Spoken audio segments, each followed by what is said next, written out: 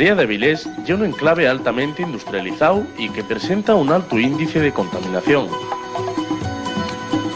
De los antiguos marismes de la ría solo queda en la actualidad una pequeña bahía de unas 25 hectáreas junto al pueblo de Celuán, conocida como Ensenada de Llodero.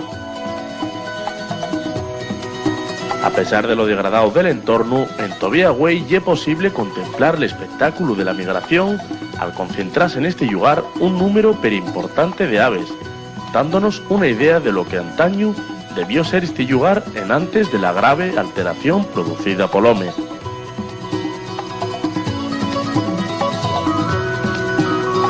Aquí, les aves que críen en el norte de Europa y que migren a África tienen uno de sus puntos de descanso. La ensenada, les aves acuáticas encuentren alimento los finos limos que descubre la baxamar. De esta forma, abundantes invertebrados y gusanos marinos como la chorra sirven de alimento a numerosas especies de aves. Les aves concéntrese principalmente en la ensenada, pero también en una pequeñina charca de unos 0,7 hectáreas situada en el interior de Celuán. Desde el observatorio que hay en el interior, podemos ver fácilmente los pájaros que aquí paran.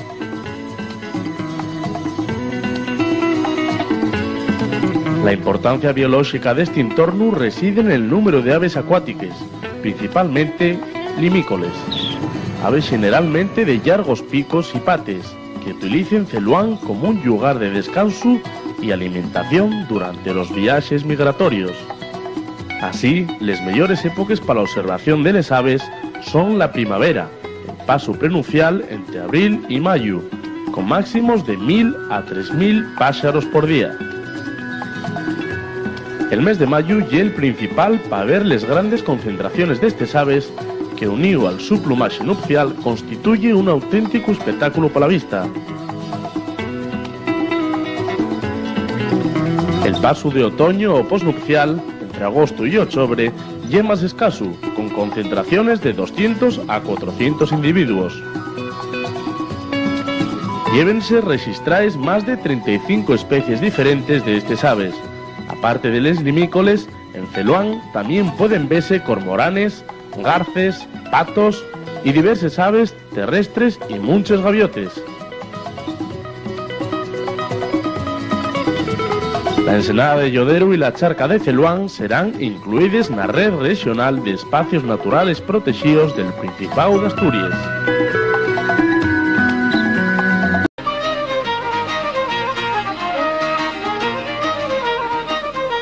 Con motivo del interés ornitológico de la zona, se lleva desde el año 78 estudiando las aves de este lugar por diversos ornitólogos asturianos.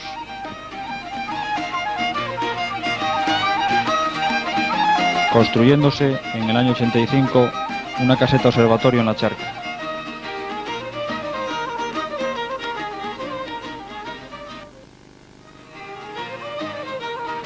Entre la ornitofauna son sin duda las limícolas el grupo más representativo y el que da una mayor importancia biológica a este enclave. En general, se caracterizan por tener patas y picos proporcionalmente largos, adaptados al medio en que viven. Se alimentan sobre todo invertebrados acuáticos, principalmente gusanos marinos y también pulgas de arena, buscadas sobre todo por las especies menores.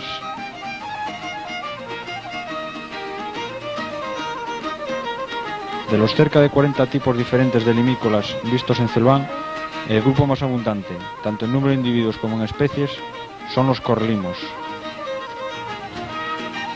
Entre ellos encontramos algunos tan diminutos como el corlimos menudo, más pequeño que un gorrión.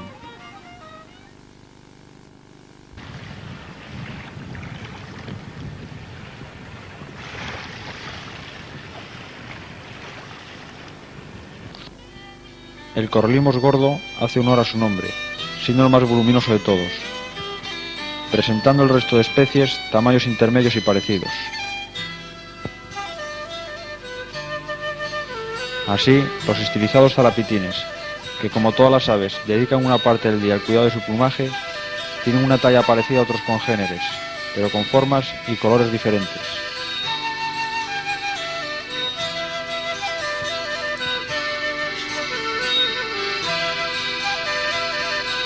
De esta manera es fácil diferenciarlos, por ejemplo, de los blancos triáctilos,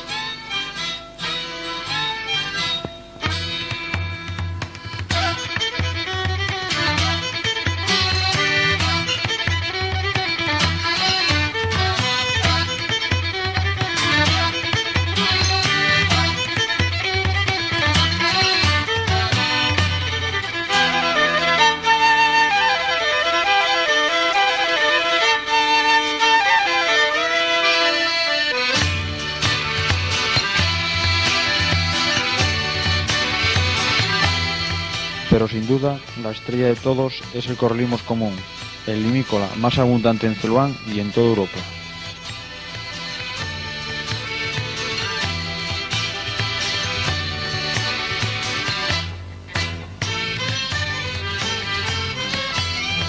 El segundo grupo en abundancia es el de los chorritejos, siendo el chorritejo grande el más numeroso, al que vemos frecuentemente unido a correlimos.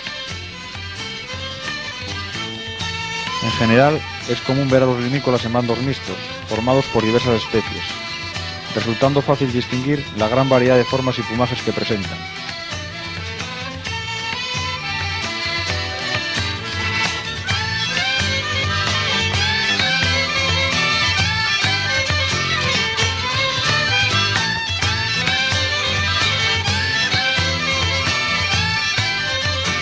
Igual de característicos resultan sus movimientos, que incluso nos permitirán diferenciar unos de otros cuando las condiciones de observación no son buenas. Así, el andarríos chico tiene un característico menear de la cola.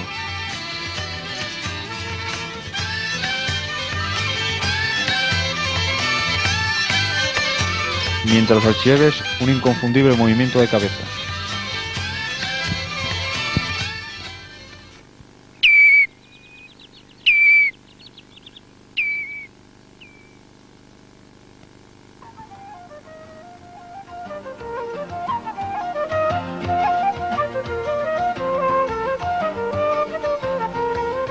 Algunas de las limícolas que vemos en la zona sienten marcada preferencia por asentarse en la charca, como el combatiente.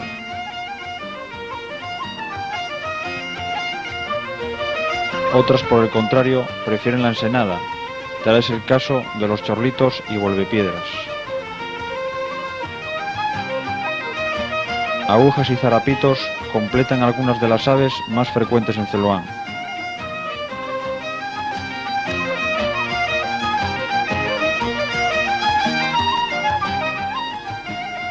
Es destacable también la variedad de plumajes que tiene cada especie, diferenciándose a veces fácilmente jóvenes de adultos, como estos vuelvepiedras, donde el adulto presenta colores más llamativos y contrastados, e incluso se puede distinguir si son machos o hembras, si tienen plumaje de invierno o de verano, y hasta la raza a la que pertenecen.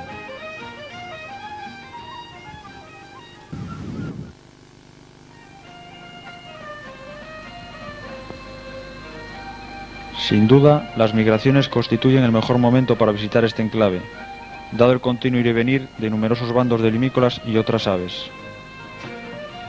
De esta forma, a lo largo del año hay dos periodos de una abundancia mayor, que reflejan los pasos migratorios, siendo el pronunciado de primavera el más espectacular, con máximos de 1.000 a 3.000 aves al día. Mientras el pronuncial o de otoño es más escaso, con concentraciones de 200 a 400 individuos. Se ha estimado que son alrededor de 30.000 las limícolas que utilizan la zona anualmente, como lugar de reposo y alimentación durante sus viajes, que los llevan desde sus áreas de cría situadas en el norte y centro de Europa y Asia hasta la zona de invernada, principalmente en las costas africanas de Mauritania.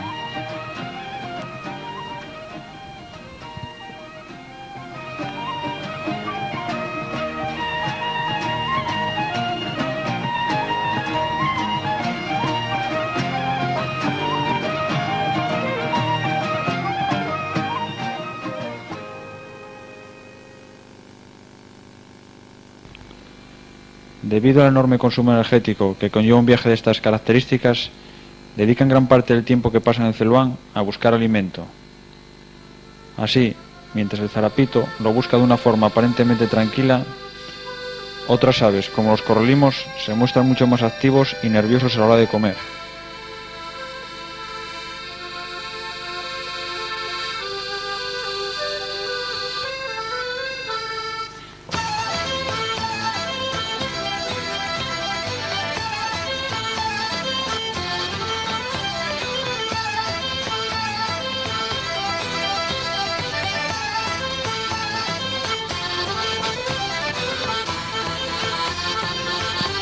Mostrándose a veces excesivamente confiados.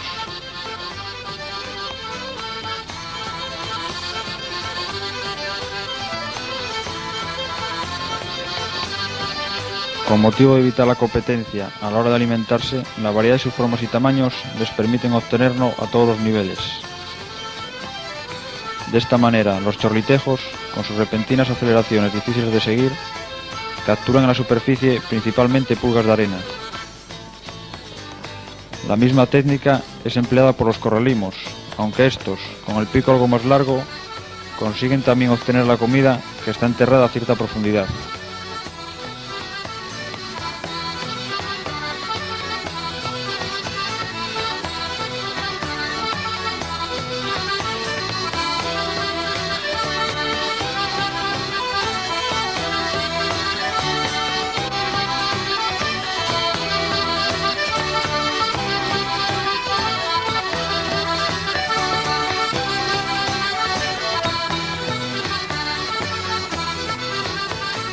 La hora de buscar presas en el fondo de los limos, la mayoría de las especies quedan muy lejos de los niveles que alcanzan las agujas.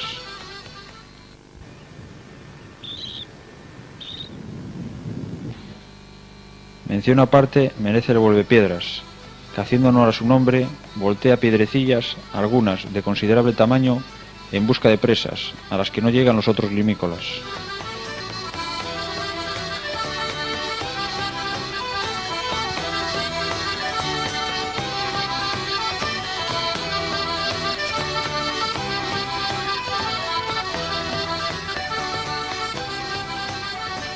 Las algas que se depositan en la línea de marea también esconden pequeños invertebrados, que no desaprovecha el piedras ante el oportunismo de los correlimos, que vienen a aprovecharse del trabajo ajeno.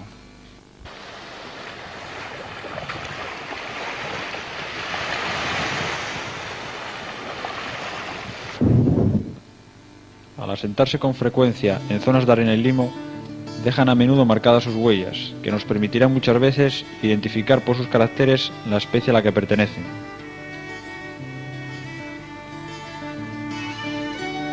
De esta forma, un rastro sinuoso que deja marcado el dedo posterior se trata sin duda de un zarapito, apreciándose claramente dónde se detuvo en busca de alimento.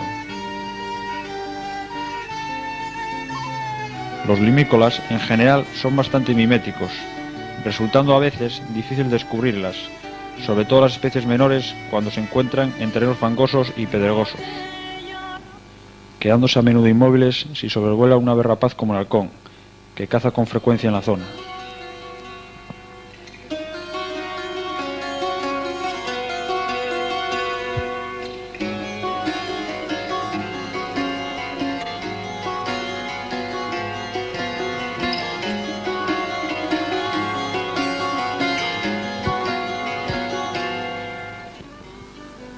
Pesar del humanizado entorno, encontramos un grupo de aves que se han beneficiado de esta circunstancia, las gaviotas, que constituye junto con las limícolas las especies más abundantes.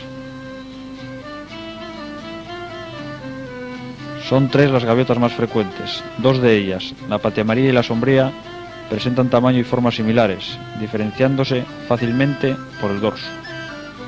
Así, la primera lo tiene gris y la otra casi negro.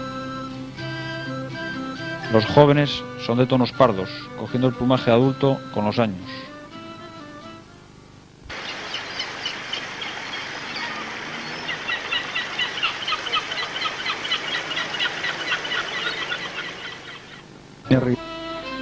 La pequeña reidora completa el listado de las gaviotas más numerosas de la zona.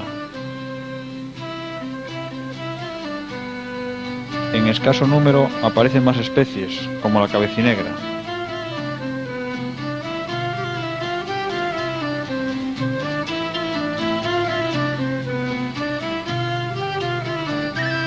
gigantesco gavión, la mayor de todas.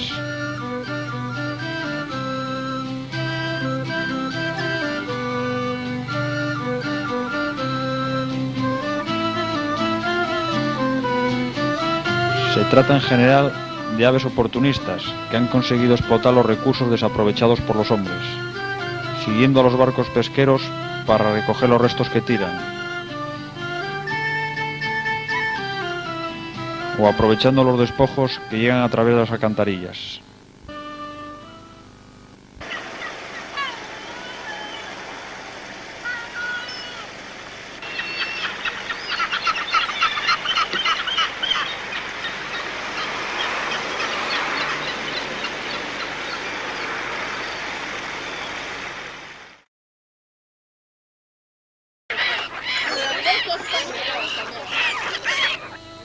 E incluso se las puede ver disputando el pan con las palomas.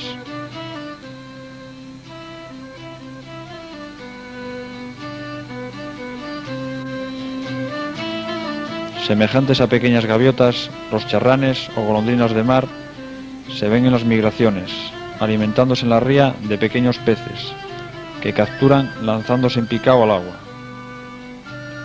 Son grandes migradores y una especie concreto, el charrán ártico, realiza el desplazamiento más largo conocido en el reino animal, viajando de polo a polo todos los años, casi 50.000 kilómetros ida y vuelta. Uno de los grupos de aves acuáticas más escasos en la zona son las anátidas, aunque algún año ha creado el azulón en la charca y de vez en cuando algún pato marino se deja ver en la zona durante los meses invernales. Incluso especies raras en la península, como la velda.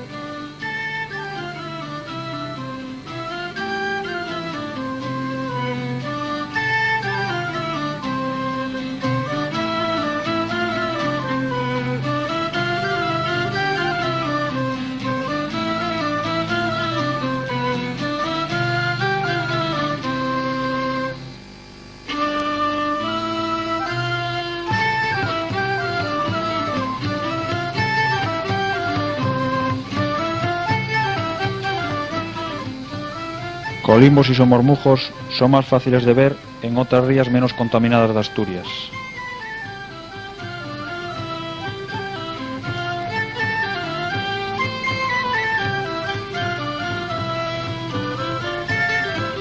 Las ardeidas están representadas sobre todo por la garza real, ave tímida que veremos sobre todo en actitud de reposo y al acecho de peces. Y la garceta común, que persigue a pequeños peces en aguas poco profundas.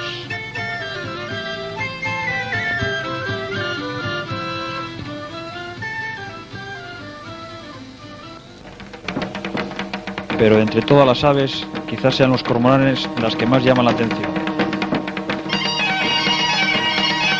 Su característica silueta y la llamativa conducta de secarse el plumaje en las orillas con las alas abiertas hacen que difícilmente pasen desapercibidos.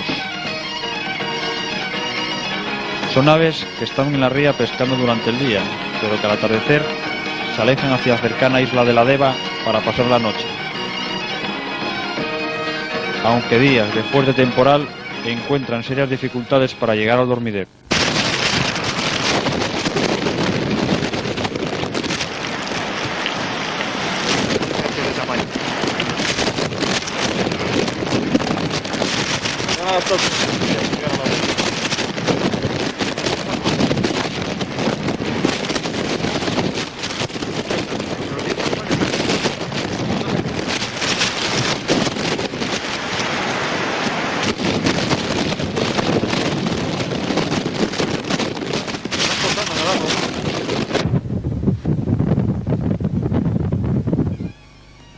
Estos días de fuerte oleaje son un buen momento para que se acerquen a la costa especies difíciles de ver, aunque las condiciones de observación no sean las idóneas.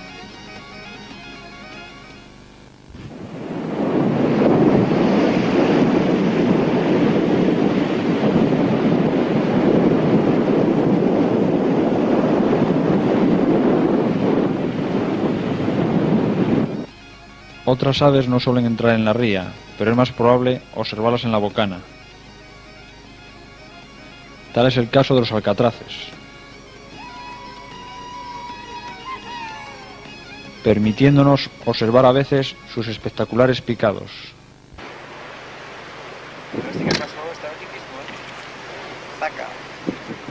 ¡Eh, eh!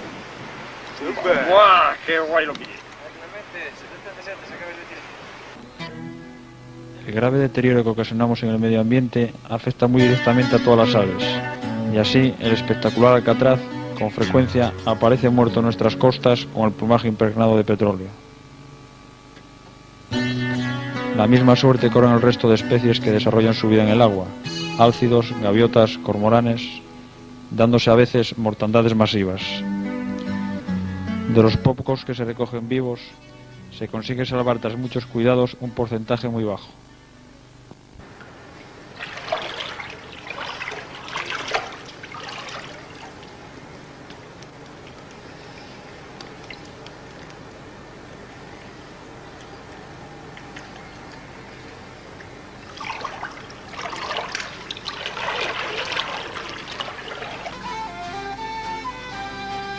Constituyendo una gran alegría el volver a darles la libertad, aunque en principio salen un poco desorientados.